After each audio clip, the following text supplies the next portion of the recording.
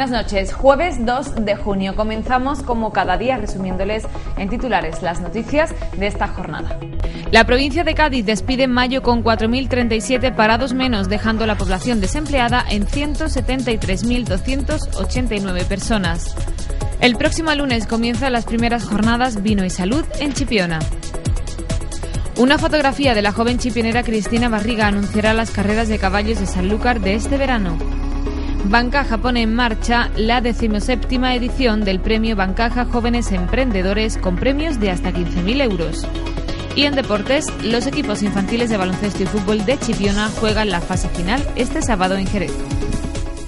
Y comenzamos este informativo hablándoles de las cifras del paro. Buenas noticias de nuevo para la provincia de Cádiz. Y es que el mes de mayo deja 4.037 parados menos que el mes anterior.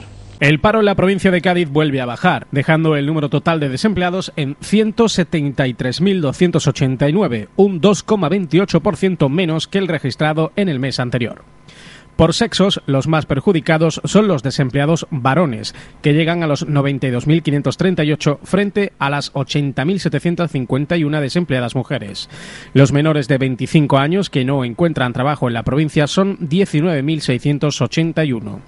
Por sectores, el de los servicios continúa siendo el que más acumula tasa de desempleo. Son un total de 84.965 personas que no encuentran trabajo en este sector. Le sigue la construcción con 35.867, el colectivo sin empleo anterior 33.594, industria 13.835 y la agricultura con 5.028. Del colectivo sin empleo anterior 4.363 son menores de 20 años, 4.509 entre 20 y 24 años, 1.855 tienen entre 25 y 29 años, 6.739 entre 30 y 44 y 16.128 son mayores de 44 años.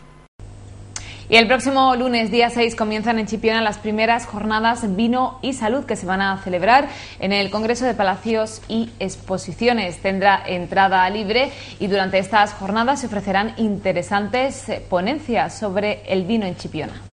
El próximo lunes comienzan en Chipiona las primeras jornadas de vino y salud que se extienden hasta el martes 7 de junio de 7 a 9 de la noche en el Palacio de Congresos y Exposiciones. Unas jornadas que han sido presentadas hoy por el delegado de Turismo y Promoción de la ciudad y que van a contar con varias conferencias, catas de vinos y mesas redondas. Todo ello, según José Luis García, para promocionar nuestros vinos. Eh, tendrán lugar eh, durante los días 6 y 7 de junio, eh, desde las 7 a las 9 de la tarde. Y eh, bueno, todas las personas que puedan estar interesadas en apuntarse a estas jornadas eh, pueden pasar por el castillo y apuntarse para ah, porque se realizarán una serie de actividades muy interesantes aparte de ponencias, mesas redondas y catas de vino. Eh, mm, nos van a visitar personas de un reconocido prestigio en el ámbito mm, vitivinícola. Eh, doña María del Carmen García Parrilla, que es asesora científica de la Fundación para la Investigación del Vino y la Nutrición, eh, dará, lógicamente, el primer día la primera ponencia. Y también don Carmelo García Barroso, catedrático de la Universidad de Cádiz, nos va a hablar de las propiedades del vino y del vino moscatel dentro de lo que es la dieta mediterránea. El día 7, eh, don Francisco Gallego, Francisco, perdón, Francisco Lorenzo Gallego, eh, Fran, eh, vicepresidente del Consejo Regulador de Vinos de Jerez y enólogo, también dará una ponencia relativa al moscatel de Chipiona y posteriormente tendremos una cata eh, que se realizará también organizada pues, por don Francisco Lorenzo Gallego, referente indicando pues los vinos de Chipiona. José Luis García ha mostrado además su compromiso de seguir realizando actividades similares y sobre otros temas si gobiernan en la próxima legislatura. Vamos a traer muchas jornadas y muchos congresos porque eh, ya tenemos contactos para cuando termine eh, el verano, a partir de septiembre y demás, pues poder seguir trayendo gente de congresos de docentes, de congresos médicos y muchos congresos que se van realizando eh, en toda España. Y aquí pues lógicamente aderezaremos todo lo que son estos congresos con rutas turísticas de Chipiona, por supuesto el Museo de Rocío Jurado y todo aquello pues que va a ser un reclamo magnífico para en cierta forma ir rompiendo con la estacionalidad Nosotros desde siempre apostamos por, por ese Palacio de Congreso, pese a que a lo mejor otros partidos políticos lo hubiesen criticado diciendo que aquello podía ser nido de gorriones o que quedaría para nada será eso así. Aquello va a tener una actividad y una dinámica muy grande y por supuesto, eso, nosotros sí que nos comprometemos a que si seguimos, seguimos en la responsabilidad de tener que llevar hacia adelante nuestra localidad en, en, esta materia, nos comprometemos a que aquello no va a ser ningún nido de gorriones, ni van a entrar gaviotas, ni nada de esas cosas por allí. Nosotros vamos a atraer mucha gente para que en los meses de menos estancia de personas en Chipiona, eh, esos congresos, esos eventos, esas jornadas, eh, tanto médicas, docentes y de todo ámbito, a hacerlas para que eh, venga gente de toda Andalucía, de toda España a Chipiona, pernocten en Chipiona, coman en Chipiona y puedan producir una dinamización de todo lo que es la economía con el consiguiente mejora de puestos de trabajo que tan escasos se encuentran hoy para los chipioneros y para las chipioneras. Y precisamente tenemos una buena noticia en concreto para una chipionera. Cristina Barriga anunciará este año las carreras de caballos de Sanlúcar y lo hará a través de una fotografía sobre este evento que ha sido elegida como el cartel anunciador de esta cita. Ayer 1 de junio comenzó la Feria de la Manzanilla de Sanlúcar, un acontecimiento local que compartió protagonismo con las carreras de caballos en las playas, pues en las instalaciones de bodegas Hidalgo la Gitana, justo al lado de la portada del recinto ferial, se celebró el acto de presentación pública del cartel anunciador de la próxima temporada veraniega del espectáculo hípico declarado como fiesta de interés turístico internacional desde hace 15 años. La autora de la fotografía que da contenido al afiche de la 166 edición es la joven Cristina Barriga, que estuvo presente en este encuentro encuentro junto al delegado de Gobierno andaluz en Cádiz, Manuel Jiménez Barrios, el delegado provincial de Turismo, Comercio y Deportes, Manuel González Piñero, la alcaldesa Irene García y presidente de la Sociedad de Carreras de Caballo, Rafael Hidalgo, además de otras personalidades como el presidente de la bodega anfitriona, Manuel Hidalgo. Este concurrido acto tuvo que celebrarse en medio de un apagón de la zona como consecuencia de un incendio que se produjo un par de horas antes en un punto de suministro eléctrico situado en la calle Banda Playa, donde radica la entidad vinatera.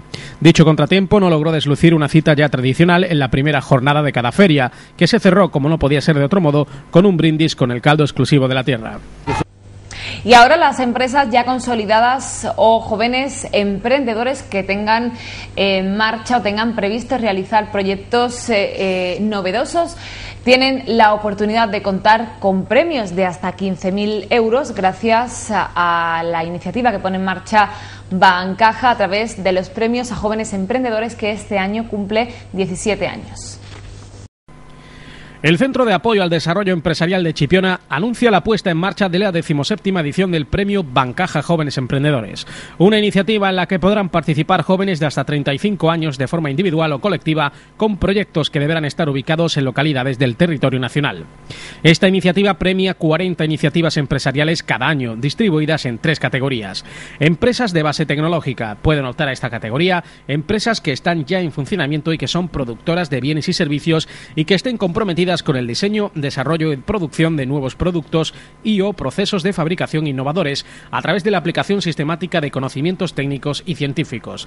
En esta categoría se conceden 10 premios con una dotación de 15.000 cada uno y otros 5 extraordinarios por un importe de 15.000 euros cada uno entre los ganadores de la edición anterior con mejor evolución.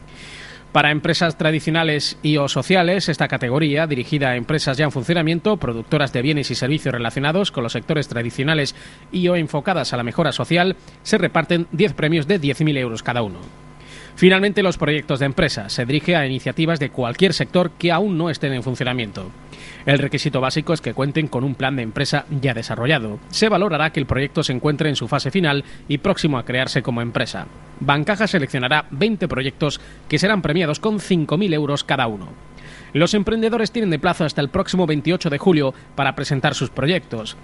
La presentación de candidaturas debe hacerse a través de la web jóvenesemprendedores.bancaja.com. La resolución del concurso será pública a finales de diciembre de 2011 en la página web. A la decimosexta edición del Premio Bancaja Jóvenes Emprendedores se presentaron el año pasado 403 proyectos empresariales y en los últimos seis años casi 2.900 emprendedores han acudido a la convocatoria. En este periodo se han concedido 280 premios con una dotación de más de 2,9 millones de euros.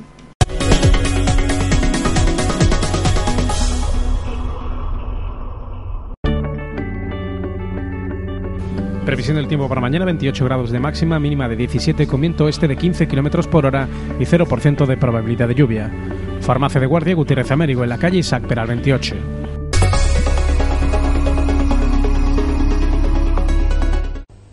Pasamos al deporte. Los equipos infantiles de baloncesto y fútbol de Chipiona juegan este sábado en Jerez las finales.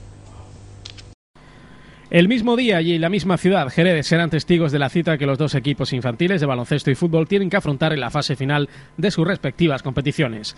El equipo de baloncesto infantil del Club Baloncesto Chipiona se enfrentará en la primera semifinal de su competición a las 11 de la mañana en el anexo de Chapín a un durísimo equipo, el Jerez DKV, que parte como uno de los favoritos al título. Si el equipo de Chipiona lograra vencer, pasaría a jugar la final a las 5 de la tarde en el mismo pabellón. Mientras el equipo infantil del Chipiona Club de Fútbol se jugará a las 12 de la mañana el ascenso de categoría a primera provincial frente al jerezano Pueblo Nuevo. Difícil objetivo ya que viaja con un resultado adverso del partido de ida, 0 a 1.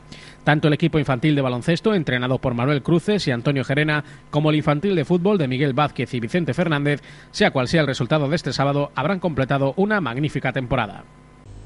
Es todo hasta aquí las noticias de este jueves. Nosotros volvemos mañana viernes, como siempre, con toda la información local. Hasta entonces, gracias por estar ahí. Buenas noches. Adiós.